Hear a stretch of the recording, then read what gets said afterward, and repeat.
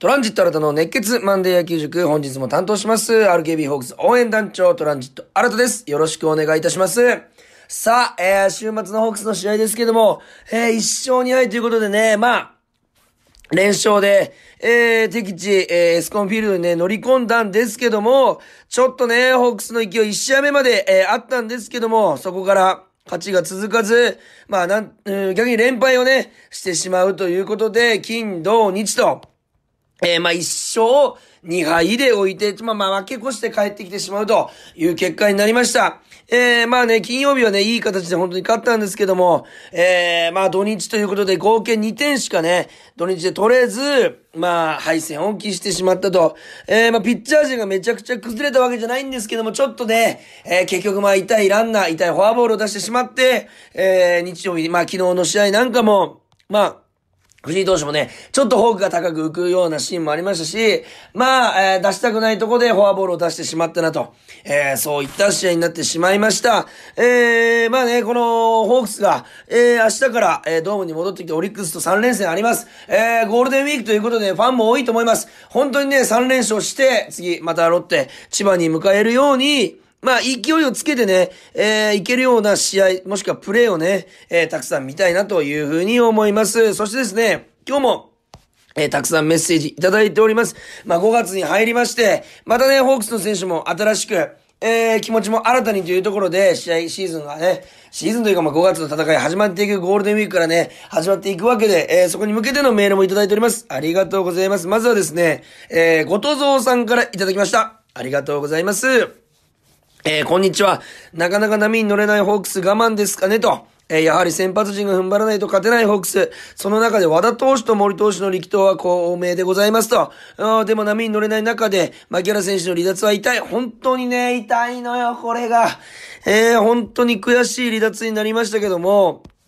まあ、えー左太もも、おまあ、足を、まあ、痛めての、うーだいたい二頭筋、えーということで、一ヶ月ぐらいね、ファームでの調整ということになります。これは本当にチームにとっても、やっぱめちゃくちゃ痛いですし、えー5番バッター、6番バッターを打っていた牧原さん、えーチームの一つの軸、一つというかもう大きな軸となっていただけに、えーこれをどうカバーしていくのかというのはね、本当にあの、今、えーまあ選手全員、チーム全員の課題になっているということでございます。まあその中でリチャードさんや、あリチャードさんが上がってきてね、柳町さんが上がってきて、えー、まあ、スタメンなんかもたくさん変わりつつという一週間でございました。えー今のホークスの起爆剤は誰になりますかというふうにメールいただいております。ありがとうございます。ズバリ、三森選手でございます。セカンド、牧原さんが抜けた穴、三森選手一軍に上がってきて、やっぱりちょっと結果が残せてない。えー、本人も悔しいところがあると思います。ただね、やっぱり、エラー、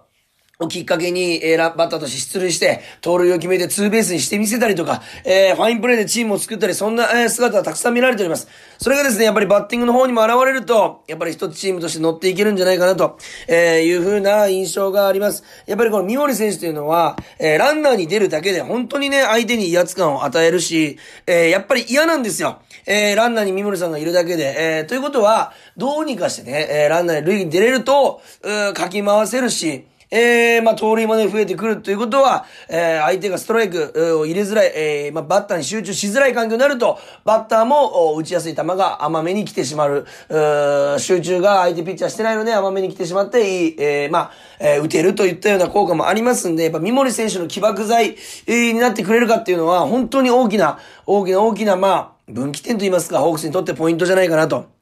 いうふうに思います。えー、もともと去年もそうですけども、チームを引っ張る能力のある選手でございますんで、やっぱね、一つ、えー、1割、ちょっとぐらい打率上げてもらって、えー、盗塁もね、増えてきたら、えー、チームとして乗っていけるんじゃないかなというふうに思います。ゴールデンウィークの三森選手の活躍、えー、めちゃくちゃ期待しております。そしてもう一通いただいております。ありがとうございます。苦しい試合結果のホークスですが、えー、新田さんのマンデー野球塾やホークスイニングゼロを聞いていると、えー、ファンも気持ちを、ファンの気持ちも上げてくれて、えー、応援するぞという気持ちになります。ありがとうございますと。えー、ラジオネームはですね、兄はサードで3番さんからいただいております。こちらこそありがとうございます。えー、マンデー野球塾は選手側のマインドとか、えー、プレーの裏側を話してくれるので、本当に面白いですと。えー、今回のシーズンはまあ始まって間もないですが、新田さんの一番好きだったプレーが聞いてみたいですと。わあ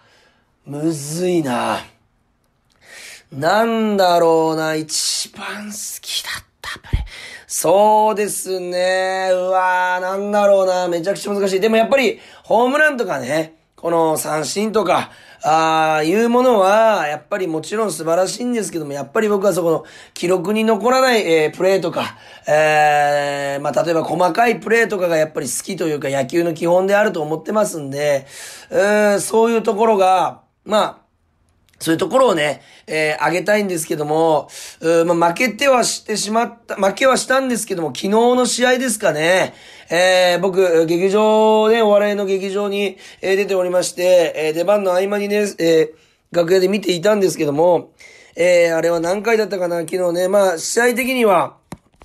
まあ、日本ハム、相手に、えー、結局5対1で負けてしまったんですけども、その1、5対1の1点を返した時の5回表の攻撃ですね。8番の今宮選手がワンアウト1、2塁から、えー、1、2塁、えー、1、2塁から1塁線、1塁の方にセーフティーバントを決めたんですけども、あのバントはもう、一級品ですね。あの例がプロのバンドと言いますか、えー、ファーストが下がっていた、えー、で、ピッチャーもあまりフィールディングの上手い、えー、選手ではないというところを見て、えー、すかさず今宮選手が、まあ、打率が今上がってきてないですけれども、えー、バントという形でチームに貢献している、えー、こうやってチームのために一つ、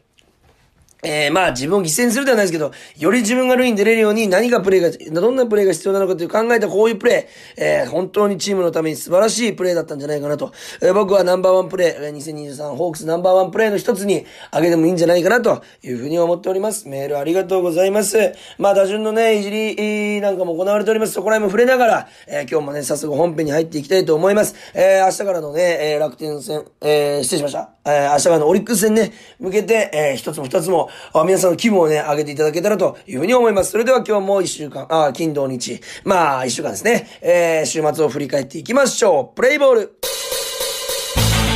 トランジット新たの熱血マンデー野球塾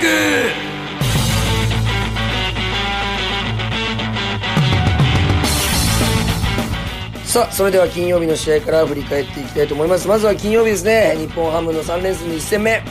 えー、先発投手がですね、ホークス石川修太投手、7回107球、5安打3失点。えー、まあ、四死球が3つあったのはね、少し多いんですけども、え、まあ、先発の役割をしっかりと、7回投げて3失点ですね、えー、最低限の役割をしっかりと果たした素晴らしいピッチングだったんじゃないかなと、結果的に、えー、いうふうに思います。まあ、その後を継いだ、あ松本祐樹投手、そして、えー、つもり投手に勝ちがついて、オスナ投手がしっかり最後を抑えると、えー、いう、勝ち方になっております。まあ何よりね、なんと言ってもこの柳田選手の10回表、延長になりましたけど、10回表のスリーラン。これがね、本当にもうチームのキャプテン、そして今年の柳田祐樹投手、えー、選手の、えー、このね、どんどん上げてきたこの調子、そして覚悟の表れ、えー、だったんだと思います。本当にあの、北海道でしたけども、ペイペイドームかのようなスタンドの盛り上がり、そしてベンチの盛り上がり、えー、見せてくれました。素晴らしい試合だったんじゃないかなと、いうふうに思います。えー、まあ、石川投手の投球も、めちゃくちゃまとまってたわけではないし、えー、万波選手にね、打たれた球なんか、本当にあの、高めだったので、えー、ちょっとね、甘い球もあったんですけども、うーまあ、えー、負けない投球はできたんじゃないかなと、えいうふうに思います。まず1回表、これね、2番に入った佐藤直樹選手ですよ。二塁打を勝ちま、えー、勝ち込みまして、えー、そこから近藤選手、柳田選手の2連続タイムリー。やっぱね、この今年近藤選手、柳田選手の並びでしっかりと連打が出て、えー、得点を取っている、えー、アベック打点。本当にね、チームにね、いい、えー、まあ、流れをね、持ってきてくれたんじゃないかなというふうに思います。特に、近藤選手も、柳田選手も、ファーストストライク目からしっかり触れているというのが相手に威圧感を与えるので、えー、結局フォアボールも出せない状況で、まあ、ストライクゾーンに投げて、えー、しまって、えー、しっかりと、柳田選手と近藤選手が捉えていると、えー、言った状況でございます。そしてさらに3回、えー、またもや2番直樹選手、あ2番の佐藤直樹選手、えー、タイムリーヒットなんですけども、これね、ノーアウト2塁、三森選手の2塁打で出た後の、あの、ノーアウト2塁だったんですよ。で、相手の選手が前に来てたんで、バスターという形から、バントの構えから、引いて、打って、まあ本人は一二塁間狙ったんですけども、センター前に抜けていって、結果的にはタイムリーヒットになったと。本人もちょっと笑ってましたけども、まあ、叩きつける打球だったので、あの方向でまあ、えー、もしショートセカンド取られたとしても、ランナーは三塁まで行けてますんで、素晴らしい役割だったんじゃないかなと。ただこの流れから、まあ、もう1点欲しかったなというところでございます。まあ、4回裏に行って3点取られましたけども、おまあ、さ、10回表にさっき言いましたけども、えー、先頭の三森選手ヒット、で、佐藤選手素晴らしい送りバント、で、近藤選手がフォアボールで歩かされて、柳田選手がスリーラン、えー、素晴らしい形、だったと思います。えー、ファーストストライクをこれも打っていると。やっぱりチャンスは初球という言葉ありますけども、しっかりと触れていたんじゃないかなと。それもこれもこの、まあ、結果的に、えー、勝ちがついたのは津森選手なんですけども、8回裏の、お2番手、松本祐樹、えー、投手の三者凡退。そして9回の裏、津森投手の三者凡退。これがあったからこそ、この流れを持って、えー、10回の表、3点を取れたんじゃないかなと。しっかりその後も、またもや、完璧な投球、オスナ投手の、セーブで、えー、勝つことができた。ヒットも13本打ちました。えー、13本打って、えー、最後のね、3点以外は3点しか取れてないわけですから、えー、まあ、10安打で3点はちょっと寂しいなというのはありますけども、えー、まあ、結果的にね、柳田選手、キャプテンの一打で勝てたというのは、すごく大きな一試合だった、大きな一試合になったんじゃないかなというふうに思います。まあ、ターニングポイントは、8回9回を三者問題に抑えた、ああ、これなんじゃないかなというふうに思います。えー、そして2連敗の初日、土曜日29日ですね。えー、まあ結果的に負け投手に東山直さんがなってしまったんですけども、8回途中まで投げまして、粘りの投球3失点。まあこれは、正直打線打ってほしかったなということでございます。8安打、まあ相手がヒット9本というところで、まあ試合振り返りますと、うーまあ、初回にね、このヒット、ヒット、フォアボールで満塁としてしまって、えー、上川端選手に、えー、タイムリーヒットを打たれてしまうと。まあ、フォアボール絡みがちょっと痛かったのかなというふうにね、思うんですけども、まあ、初回から、えー、しっかりと捉えてきた日ハム打線がさすがだったと、ああいう見方もできるんじゃないかなというふうに思います。まあ、東山投手、この種もね、もちろんと丁寧な投球で、えー、まあ、フォアボール2個出してしまったんですけども、おまあ、3失点ということで、本当に粘りの投球、えー、だったのではないかなというふうに思います。まあ、4回の裏にね、野村選手にホームラン打たれてしまったんですけども、まあ、一番起用がズバリね、この野村選手の一番起用が当たるというのも、えー、ビッグボス、まあ今は新庄さん、新庄監督の采配のすごいところだなと、えー、いうふうに思います。まあ、うまく捉えられて、結果的にはホームランを打たれてしまうと。ただね、こちらも、お6回表ですよ、佐藤直樹選手またもや、えー、やっぱりね、本当に起爆剤の一人として僕も名前挙げたいぐらいなんですけども、佐藤直樹選手、えー、ホームランということで大、この、なんていうんですか、状態の良さはしっかりと、うー、なんていうか、見れるというようなバッティングだったと思います。大体、まあ、状態がね、えー、いいって言っても、この、こ、ここまでこの反応で、えー、打てるバッティングなかなかできないので、えー、佐藤直樹選手が、あまあ、なんていうかな、この開幕のスタメンつかめなかったんですけども、しっかりと準備してきた、えー、その素晴らしさがここでしっかりと出てるんじゃないかなと。本人もしっかり触れてるとおっしゃってますし、構えがね、変わって少しこの楽に構えるようになって、まあタイミングの取り方もよく、まあ自分の中でね、合うものが見つかった、そんな風なあバッティングを見せてくれました。ただ反撃もここまでで、えー、1点止まりになってしまうと、いうことでございます。まあ、ヒット8本ということで、9イニングで8本ですから、えー、1イニング1本ぐらい出てると。おまあ、そう考えますと、まあ、そうですね。打ってないわけじゃないんですけども、やはり連打が出てないと。えー、まあ2回に連打が、あ1回あって満塁のチャンスを作るんですけども、えー、続かずというところで、まあ連打が、えー、まあ出ればね、えー、得点というのはおのずと増えてくるんですけども、この日も連打が1回ということで、やっぱり2アウトからのタイムリー、そして連打がね、えー、これから重要になってくるんじゃないかなと、いうふうに感じました。えー、そして昨日、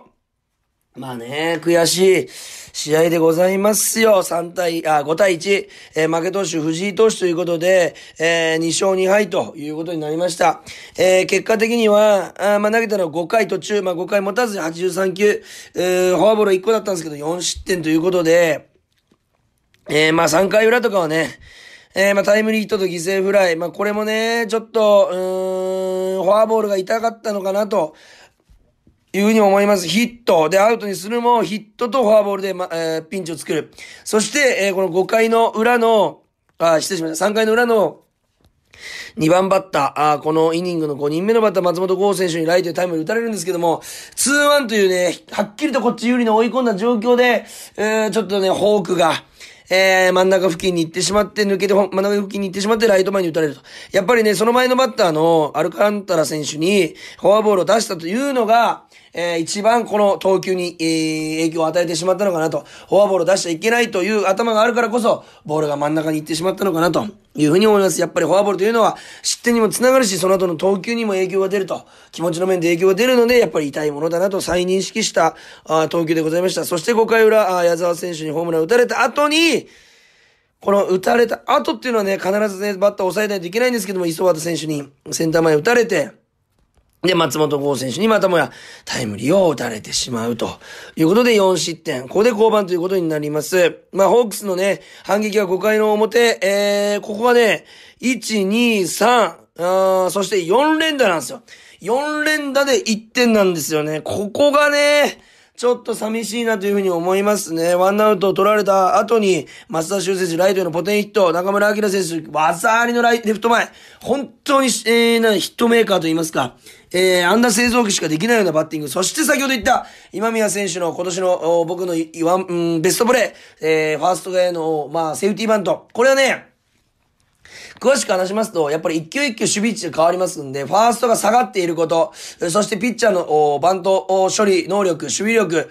そして自分の足、そしてボールがどれぐらい跳ねるか、そしてちょっとね、走りながらバントを押しながらプッシュバントみたいな形しますんで、その正確性、このいろんなね、難しい要素が絡んだ中で、あのバントができたのは、やっぱり、えー、記録、バント記録を持ってる今宮選手の技だなというふうに思いました。そっから代打ですよ。早めの代打、柳町選手のもうほんと気迫のライト前、えー、追い込まれてしまうんですけども、えー、まあ多少ボール球だったんですけど追い込まれたの5球目、しっかりとライト前に弾いて、本人もね、なかなか柳町選手があんだけ気合の入った顔でガッツポーズすることないんですけども、おやっぱりね、2軍に落ちたっていう悔しい経験もありますんで、1軍でどうしても活躍したいという気持ちが乗ったライト前でございました。まあその後の佐藤直樹選手がね、この犠牲フライでも良かったので1点取れてるとまた流れは違ったのかなと、えー、そこで追いつくということができていたら、えー、またちょっと違ったのかなというふうに、えー、思うような攻撃になってしまいました。やっぱ4連打だとね、最低2点は欲しいなという攻撃でございます。まあそんなにうまくいかないのが野球でございますんで、難しさはあるんですけども、ここはもう1点欲しかったなと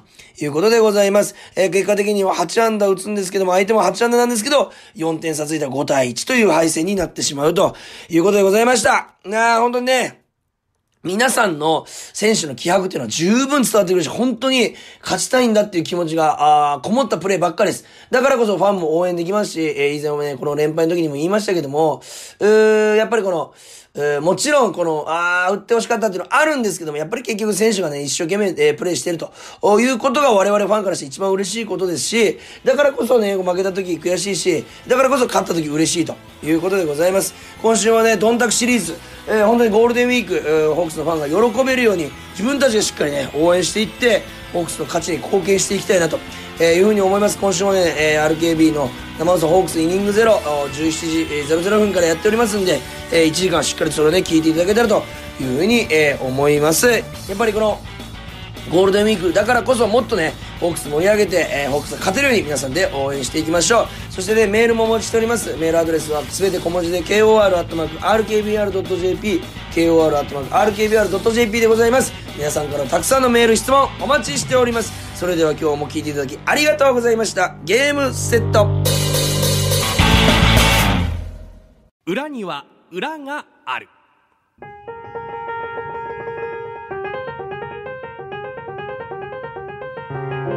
表ばかり見ていると羨ましいし恨めしい。なら見てみよう。裏側を。聞いてください。裏話。努力はきっと裏切らない。裏にしかできない人生のさよなら勝ちを目指して。藤原玉樹。日曜の裏。RKB ラジオで毎週日曜朝10時から放送。ポッドキャストでも同時配信しています。